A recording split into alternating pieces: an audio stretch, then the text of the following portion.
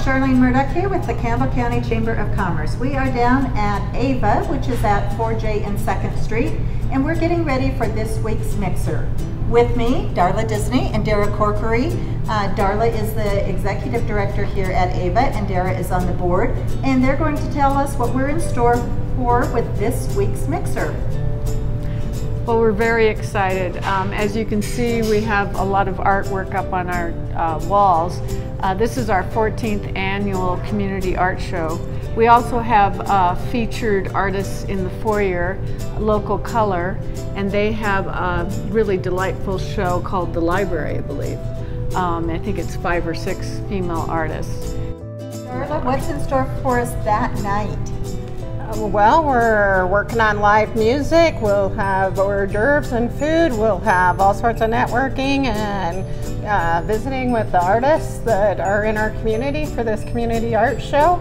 Um, I want to throw a mention out that we're also accepting artwork for the next month, which will be seasons. That's the theme for September.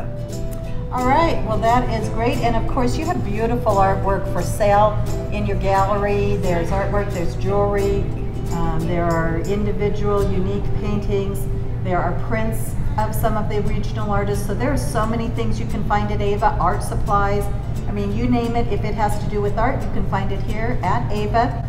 Um, and I'm sure you're wondering why I'm wearing this really nice hat. So I'm going to take it up, give you a little view of it, and Dara or Darla, why don't you tell me about the hats?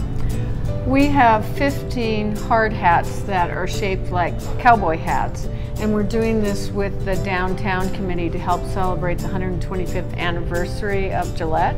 We'll be auctioning these hats off on the 25th of August, and again, we'll have music and food and fun, and we're hoping to make some money for the artists who are the heart and soul of Ava. So the hats will be back here for the mixer. So they will. They're scattered. The they're scattered around town right now. You'll see them at different businesses. You can check out probably our website for those yes. locations. All right. Well, we will see you Thursday night at Ava for our August mixer. It is at the corner of Second Street and 4J, 5 to 7. See you there.